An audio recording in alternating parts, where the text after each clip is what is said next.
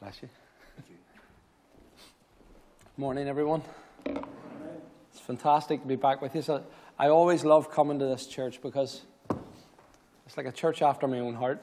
and I know Ken's away this morning, and we pray that God's blessing will be upon him. And we thank God for your pastor. Would you say amen? Because, you know, I think the affiliation that I have with this place, and especially with Ken and other men, Gary, different men in this place, is that, you know, it's not a church that chooses either or. It's a church of the Word and the Spirit. Would you say amen? And we need that constantly in our lives, brothers and sisters. If you do have a Bible with you, could you turn with me, please, to John chapter 16 this morning? John chapter 16. Very important subject to bring to you. Subject you can't revisit too often. Subject that's vital for each of us as Christians and as a church as a whole.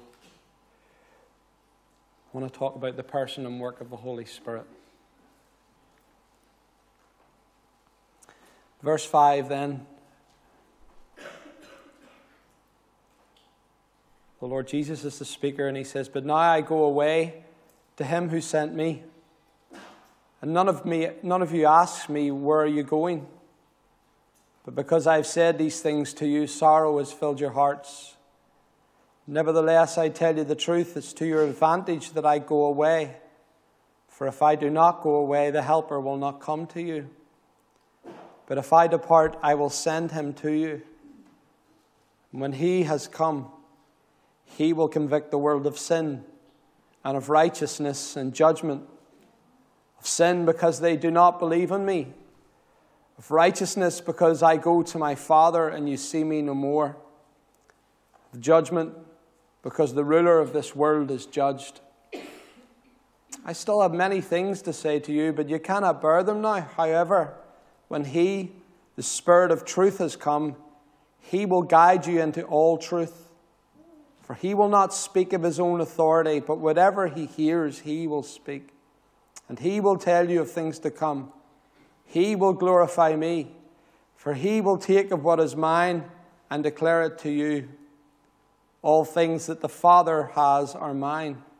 Therefore, I said, He will take of what is mine and declare it to you. Can we pray together, please?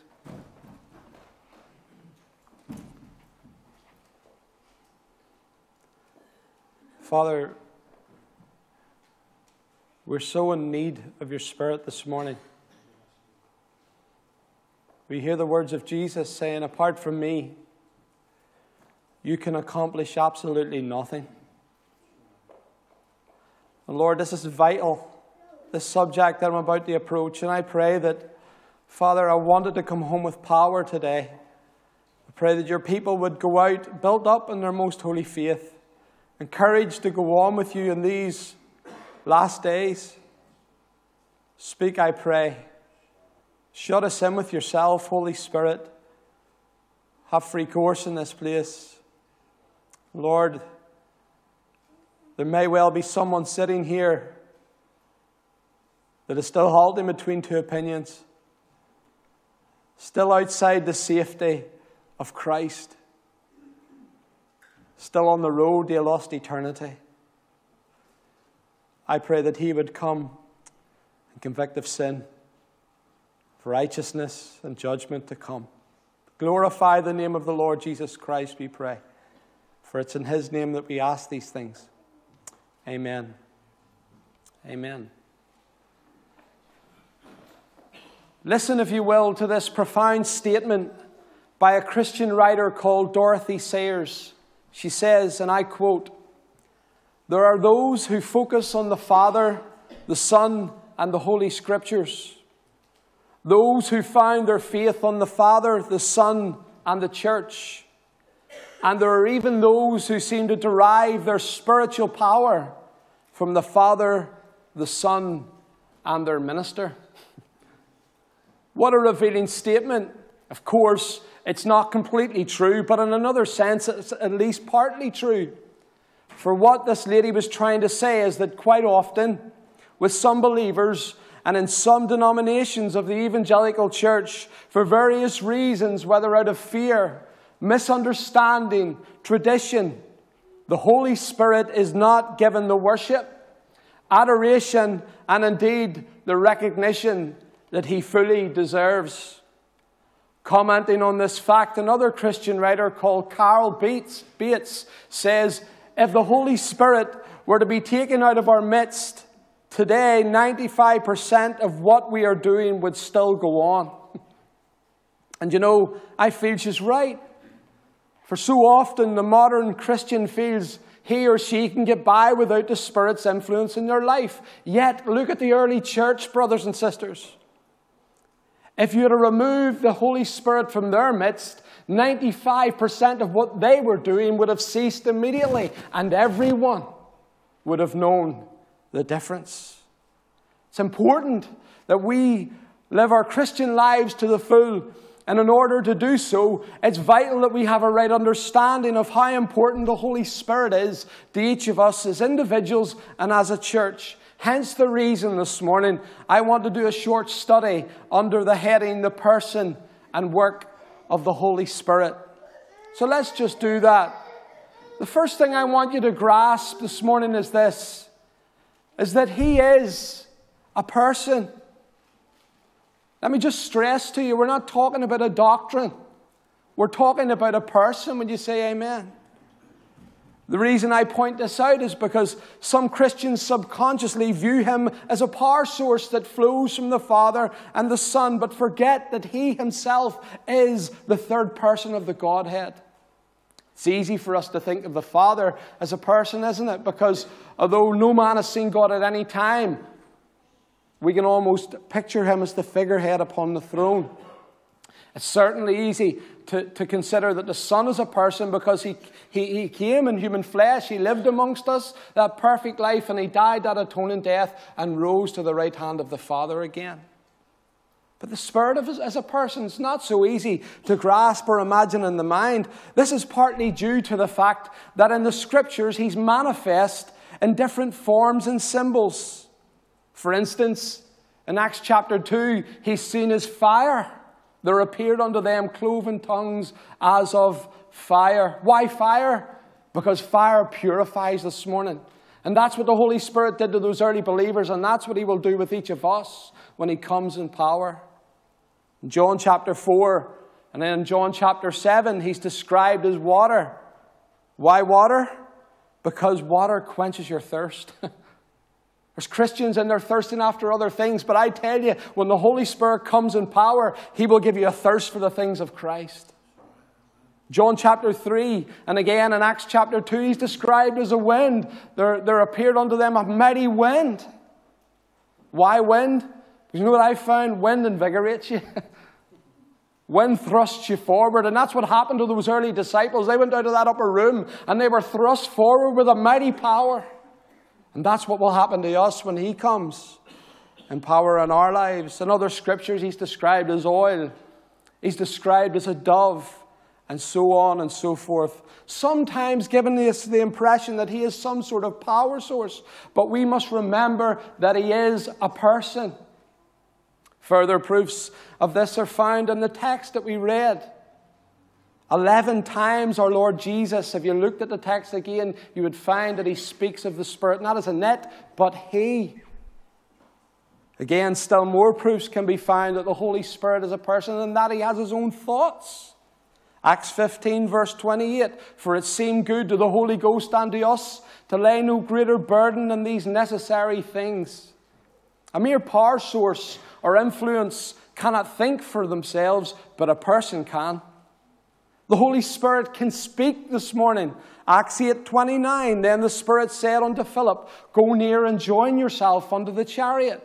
A mere power source or influence cannot speak, but a person can. The Holy Spirit can act this morning. Acts 8 39. And when they were come up into the water, the Spirit called Philip away, that the eunuch saw him no more, and he went on his way rejoicing. The Spirit has feelings. as well. Ephesians 4, verses 30 tells us it's possible, and listen to this, this is amazing. It's possible for us to grieve him or stem him. I pray that that wouldn't be the case with any of us. Acts chapter 5, verse 3 to 5 shows us that he can be lied to, the story of Ananias and Sapphira. 1 Thessalonians 5, verse 19 shows us it's possible to quench him from moving. And this happens when we deny his power. 1 Corinthians 12, verse 11 tells us that the Spirit has his own will. Brothers and sisters, these are all proofs that he's a person and not an influence. Now, why is this important, Stuart? You give us so many proof texts. Well, I'll tell you why it's important. And, and we know this, but I just want to bring it home to you again as it's come home to me these last weeks. It's important that I stress this point simply to remind us that methods, communication skills, imaginative strategies, good presentation, and so on, all these things that many modern churches seek after today are good in and of themselves. Would you say amen to that? There's nothing wrong with that. But they are not at the same time in and of themselves enough to thrust the church forward and reach the lost. Listen to A.W. Tozer. He says the only power that God recognizes in His church is the power of the Spirit, whereas the only power recognized today by the modern church is the power of man. God does his work by the power of the Spirit, while preachers today endeavor to do theirs by the power of the trained and devoted intellect. Bright personality has taken place of divine afflatus. Everything that men do in their own strength and by their own abilities is done for time alone. The quality of eternity is not in it. Only what is done through the eternal Spirit will abide eternally. And then he says this it is a solemn thought to think that many of us who thought ourselves to be important evangelicals may on the last day find that we have been busy harvesters of stubble. Brothers and sisters, I would go as far as to say to you that the church right throughout the UK has changed. The church has turned to gimmicks. Whatever happened to the sovereignty of God, the Holy Spirit, would you say amen to that? And I know that the church that I'm preaching to this morning is different. And that's why I thank God for the leader here, because he's a pastor who holds to the Word of God. But he's a pastor who depends completely on the sovereignty of God, the Holy Spirit, to work. Would you say amen to that? And, brothers and sisters, I just want to remind you again that all of these things are good, but it's a person that we need. See, in my own private prayer times, I've been crying out for him because it's him that makes the difference. Now that we've looked at point one, he's a person, I want you to look at other, four other points with me. I want you to look at four other points underneath the work of the Holy Spirit. Here's the first work of the Holy Spirit. The first work of the Holy Spirit and the chief office of the Holy Spirit is to promote Jesus Christ. Chapter 16, verse 14, the Lord Jesus said, He will glorify me, for he will take of what is mine and will declare it unto you. Please understand that when the Holy Spirit is at work, yes, He's worthy of worship. Yes, He's worthy of adoration. Yes, He's worthy of praise because He's the third person of the Godhead. But when He's at work, He doesn't primarily point people to Himself, He always points them to Jesus Christ. It's important that we recognize this. For I have found more and more that Christians are being confused by what's taking place in the confines of the church and in Christendom as a whole. Questions they ask is how can I know what's authentic and what is not? How can I know who is authentic and who is not? Well, here's a good rule of thumb. Ask yourself the question in that person, in that church, in that revival, is God glorified? Is He at the center? Do they have a love for Jesus Christ? Does their life emanate Christ? Does their lips speak of His praise? Do they have a hunger for His word? Do they desire to tell others? Are they committed to serving Him? These are all proofs of a, per- a personal experience without these characteristics is meaningless and counterfeit. Would you say amen to that? And this is why I'm so burdened these days. Because the church has turned away from these things. You know, brothers and sisters, I, I'm not sure where I've mentioned here before, but a few years ago I took some of my friends to a, a prominent church over in England. And I'll not mention who it was. But I got up in 25 minutes. This guy got up and gave a motivational chat, and he never bothered to open the Bible. And then he comes off with the audacious statement that we ought to move on from the cross. and there's over 2,000 people are drawn to this place. And I thought, this is not, this is not the Holy Spirit. I actually was getting up in the pulpit to preach one morning at Living Hope Church in Hull, and um, there was a certain revival going on over in Florida. And I declared to our people that this thing is not of God. I was lambasted for it.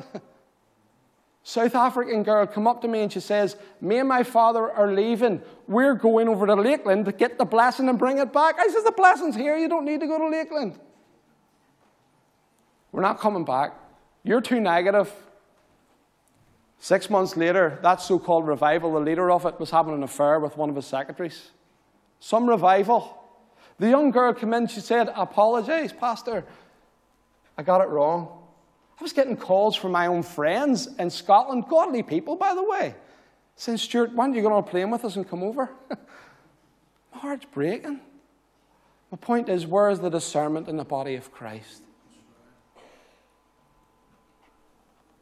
Paul said, This is the gospel that was handed down to me from God. This gospel I declared for you, to you. Christ died for our sins according to the scriptures. He was buried according to the scriptures, and on the third day, he rose according to the scriptures. The first work of God, the Holy Spirit, and I want to help you again with this this morning, is to promote Christ. If Christ is not the center, you know that there's something's not right. Secondly, not only does he promote Christ, the Holy Spirit will always purify. Purify. Think about his name. He's called the Holy Spirit. Speaks of his purity and his nature and a purity in his activity. John 16, 8, I've quoted already. When he has come, he will reprove the world of sin, righteousness, and judgment. Brothers and sisters, it's clear that his work is to purify. Think about 1 Corinthians 6, verse 9 to 11. Listen to what Paul says. Know ye not that the unrighteous shall not inherit the kingdom of God? Be not deceived, neither fornicators, nor idolaters, nor adulterers, nor effeminate, nor abusers of themselves of mankind, nor thieves, nor covetous, nor drunkards, nor revilers, nor extortioners shall inherit the kingdom of God. Now listen to this. And such were some of you. But ye are washed, sanctified, and justified in the name of the Lord Jesus Christ and by the Spirit of our God. Note Paul says that the Corinthians were in the past tense negative category, but note how they were washed, sanctified, and justified. It was through the purifying work of God the Holy Spirit. The true Christian this morning will be one in which the Spirit has begun and continues to do that, that purifying work. Would you say amen? No sanctification, no justification. Because the two go hand in hand. Can I challenge you, church? Are we living clean this morning? Oh, I know the Christians can fall. Many of us have fallen over the years, and that's fine, but as long as we get up and keep going on, would you say amen to that? But if you, over years and years and years, are struggling with the same sins, going into the same old haunts, dealing with people and, and, and hanging with people that you should not be, you need to ask yourself the question this morning are you a Christian? Because the Holy Spirit does that sanctifying and purifying work in the true believer. Challenge to you this morning, church. So, he promotes Christ. Let's remember that. The Holy Spirit also purifies. We ought to be living clean lives these days. But then I want you to see also, thirdly, that He empowers. He empowers. In three ways. The first way He empowers is that He preserves life. The Holy Spirit preserves life. Psalm 104:30, you sent forth your spirit and they are created. You renewed the face of the earth. Job 34:14 and 15. If he set his heart upon man, if he gathered unto himself his spirit and breath, all flesh shall perish together, and man shall turn again unto the dust. Job 33 4 The Spirit of God has made me, and the breath of the Almighty has given me life. Note again, it seems here that by the empowering work of the third person, we have creation and preservation. Note I find more and more these days men and women dishonor God. They're ignorant of the fact that it's only because of His common grace that they even have breath in their bodies. As we come here this morning, He is upholding our very breath. He's given us our very breath. Unsaved friend in this house. It's His common grace that keeps you alive. The reason your eyes are open, the reason your heart is beating is because the third person of God has preserved you to live another day. What if, as Job says, he was to gather unto himself that same breath? Can I ask you a question? Are you prepared to meet your God? Are you prepared to meet your God? Oh, Stuart, I'll have the three score years and ten. Doesn't always happen that way. Do you remember the stories I've told you?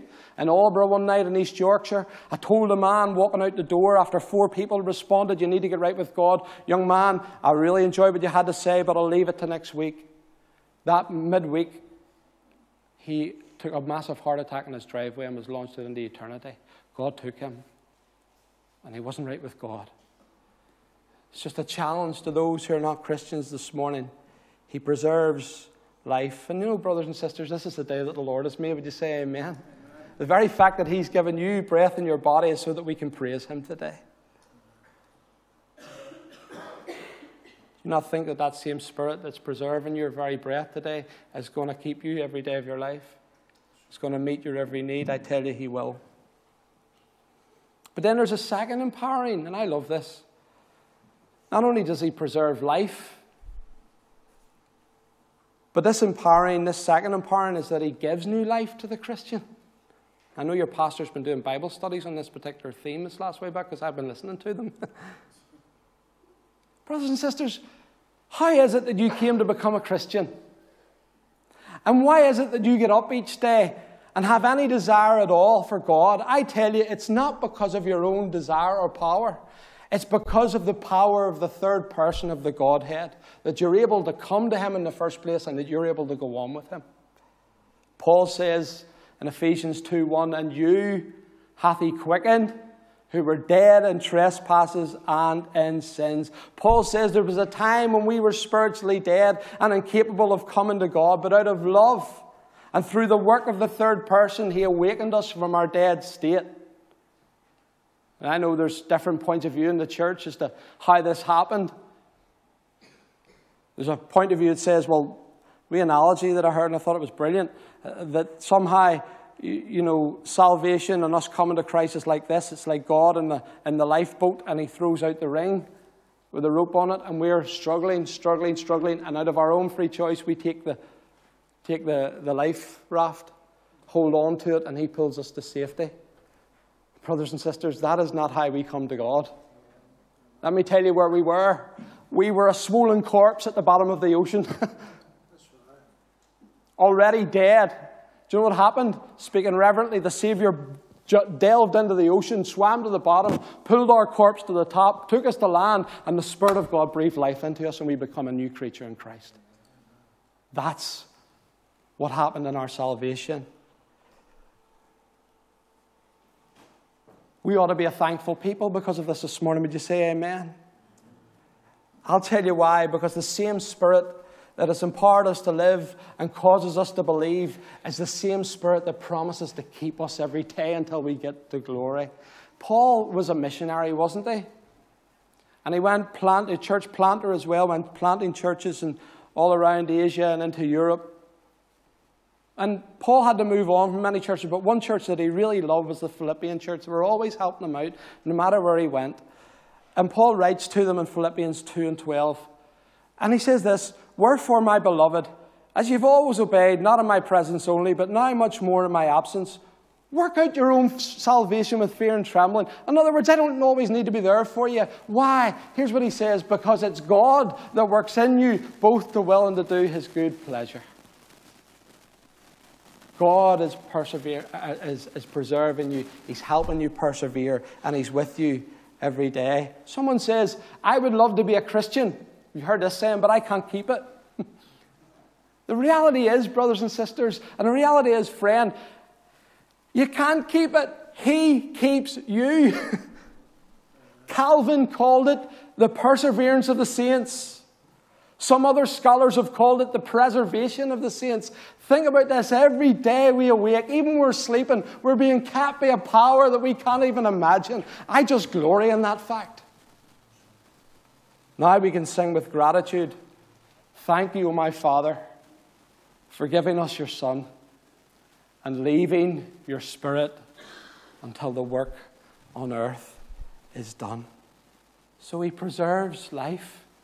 He gives the Christian new life and he helps the Christian persevere to the end. Oh, praise God for the Holy Spirit. But then there's another way that he empowers. And this is where I want to really zoom in because this is where my heart goes out to the church.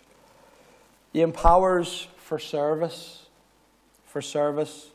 Acts chapter 1, verse 8. But you shall receive power after that the Holy Ghost has come upon you, and you shall be witnesses unto me in Jerusalem and Judea and in Samaria and unto the uttermost parts of the earth. The word power in the Greek there is dunamis, and it means dynamite. Here, Christ says when the Spirit comes, they would receive explosive power, not for salvation. And I'm fed up hearing that there's only one baptism. There's two baptisms. Would you say amen? Power not for salvation, but he was talking here about power for service. The word dunamis occurs nine times in Acts, and nearly in all of those occasions it means to empower not only to serve, but for healing as well. And I tell you, when the Spirit comes, he can bring power for effective service, but he also brings power for healing. Now, does God heal everybody? Big subject. I don't personally believe that he does, because I believe that God can even be glorified in our suffering. Would you say amen to that? But God still does heal today. I believe that with all of my heart. We need this empowering. I need this empowering. My ministry, we need it in our witness.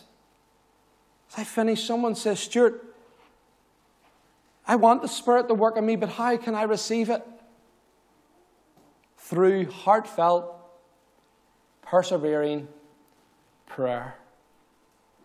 Acts chapter 1 4. And being assembled together with them, he commanded them that they should not depart from Jerusalem, but wait for the promise of the Father, which said he, You've heard of me. The Greek word for the word wait meaning for the word wait here in verse 4 means to hang around, to endure. Notice no specific times were given, brothers and sisters, just a promise that if they would endure, if they would wait, then great power would be made available to them. This required patience, didn't it? Do you know what I find interesting? Paul in 1 Corinthians 15, verse 6, tells us that after Christ's resurrection, he appeared unto more than 500 of his brethren at one time. So they seen the risen Christ. That would have been awesome. But by the time we get to Acts chapter 2, there's only 120 left in the upper room. Now, my mind started thinking, where did the other 380 go to? And then I thought, well, probably the upper room, as big as it was, wasn't able to contain all of them. And then the scripture came to me, but God doesn't dwell in temples made with hands. It's not that the God, the Holy Spirit, was restricted to that upper room. If those other 300 plus were, were hungry enough, he could have went and met with them as well, and perhaps he did. But all we were told here is that the 120 received the promise. And the point is this the best, the most powerful anointing comes for those who are willing to wait in his presence.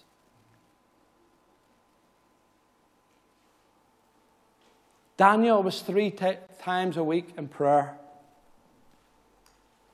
Elijah was a man subject to like passions as we are. That's a scripture telling us he was no different to us. But he prayed earnestly.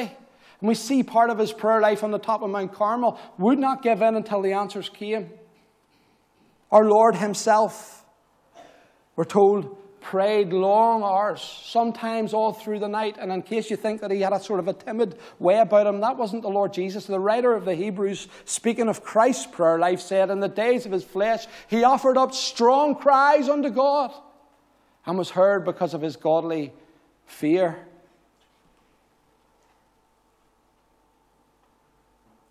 I think this is what differentiates differentiates the church today from the church of yesteryear. This is why they seen great revivals and we don't. This is why they dwarf us. It wasn't that they had less distractions or more crosses to bear. It was that they had learned to persevere with God. George Whitefield's quote Whole days and weeks have I spent in prostrate prayer before the throne of God. John Pollock has a book that I read on Whitefield and Wesley. These men were mighty in prayer. They used to, used to lie all night in Oxford and pray and pray and pray, and then God came in in power. It's no coincidence then that 25% of the nation was swept into the kingdom of God under these men's ministries. Martin Luther, the father of the Reformation, was legendary for his prayer life. He spent two hours a day in prayer. One day he said to Philip Melanchthon, his right hand man, um, Philip, I have so much to do tomorrow that I need to spend an extra hour in prayer today. now, let's be honest, I'm talking about myself here as well. We do the exact opposite, don't we? The more we have going on, the less we pray. These men were different.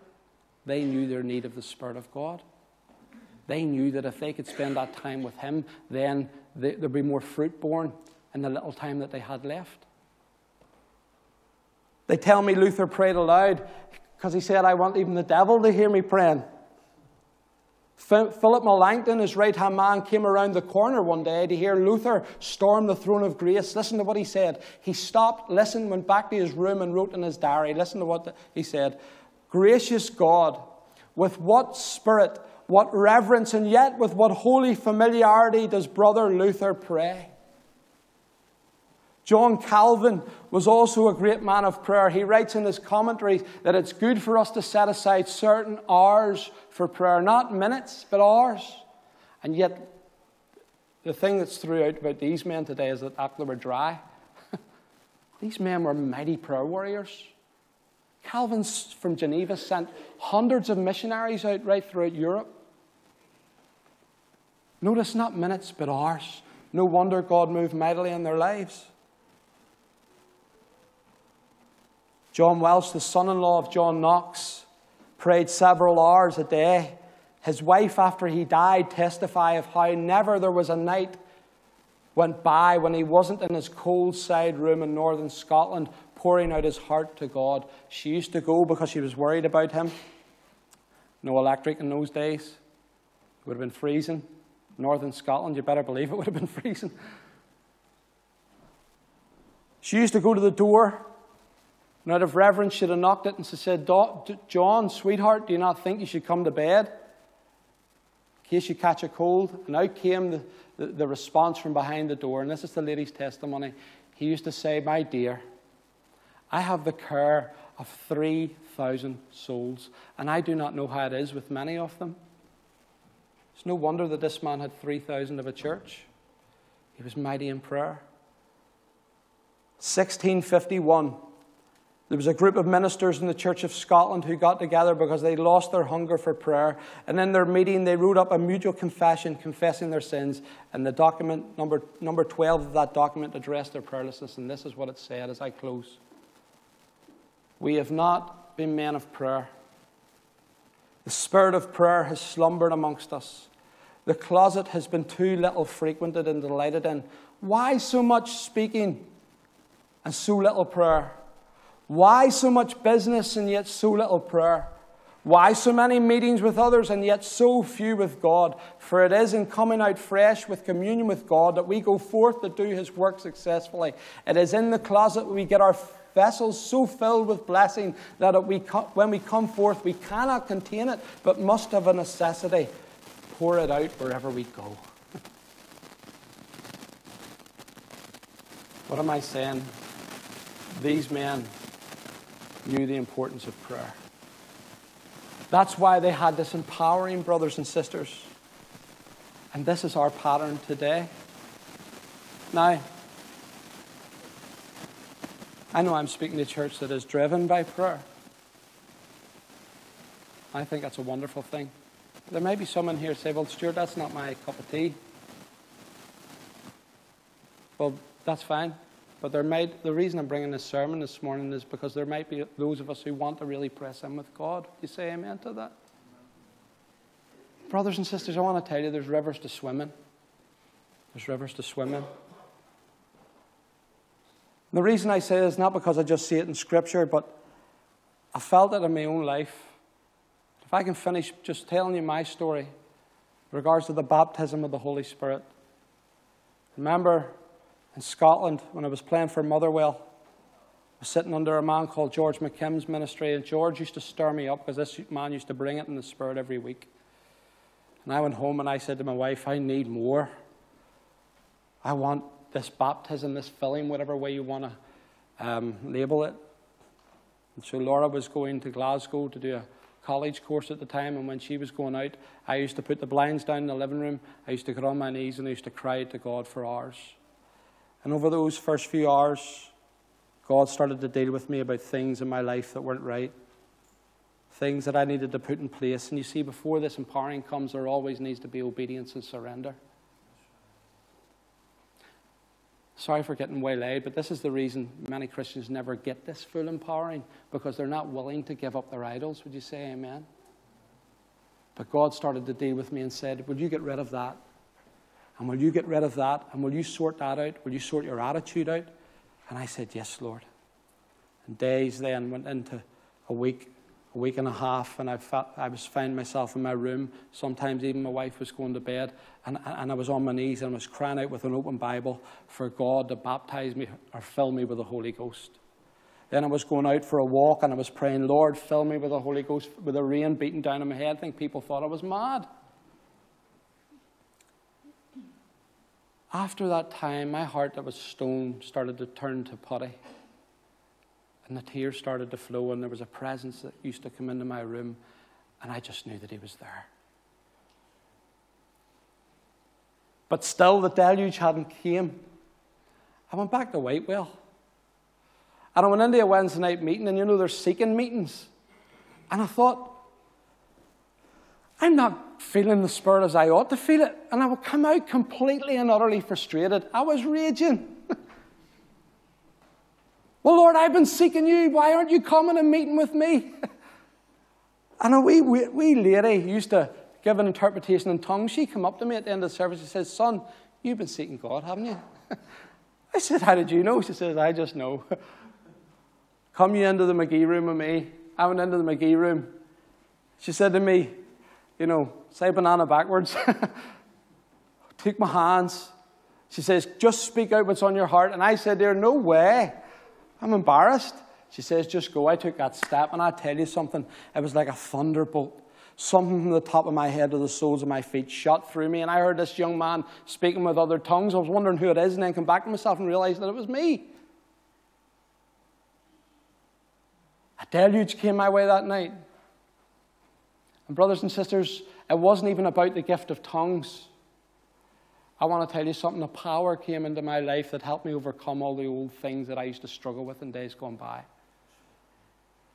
And all I want to say is this this empowering is available for each one of us. Would you say amen to that? And I would encourage you, Christian, God is no respecter of persons. If you will do those, take those same steps, if you will do what these men of old did, I, I tell you, you'll see great revivals, personal and corporate. So the Holy Spirit promotes Christ. The Holy Spirit purifies. The Holy Spirit preserves creation. The Holy Spirit awakens us from the dead. The Holy Spirit helps us to persevere. The Holy Spirit empowers us for service as well. Someone says, Stuart, I don't need more. I'm happy with what I've got. Listen to this quote as I finish from Dr. Martyn Lloyd-Jones, the father of the great Reformed awakening. And he was saying this actually to cessationists. He said this Got it all? Well, if you've got it all, I simply ask in the name of God, why are you as you are? if we've got it all, why are we so unlike the early church? Got it all at your conversion? Where is it, I ask? That really challenged me, that, that quote. Got it all at your conversion? Where is it? I ask. Brothers and sisters, when you go out of here this morning, if you take anything away from what I've said, if you forget anything, remember this. It's a person that we need. Would you say amen to that? God, the Holy Spirit. Thank you for your attention. Let me pray and I'll hand it back to Gary. Father, I thank you for the leader of this church. I thank you for the men that he's got around him as well. Lord, I pray that well, Father, I thank you for him, first of all, and I pray, Father, that what he pursues, you would continue to fill, you would continue to inspire him. And Lord, I pray for this church, and Lord, we believe that you've already begun local revival here, but would you continue it, Lord? Lord, in an age when, oh, Lord, even the church is going after other things, we come back to the book of Acts. We tell you, Holy Spirit, that we want you, that we need you, that we're willing to do what you want us to do. But would you come with power? And would you send revival again? So, Father, bless this church from the leadership down and use it in the days that lie ahead for your own honor and for your own glory. Lord, for individuals, even as they go home today, may they know that there's much more, much more. There's rivers for them to swim in in God. I ask these things in Jesus' name for His glory. Amen. Amen. God bless you. Thanks very much.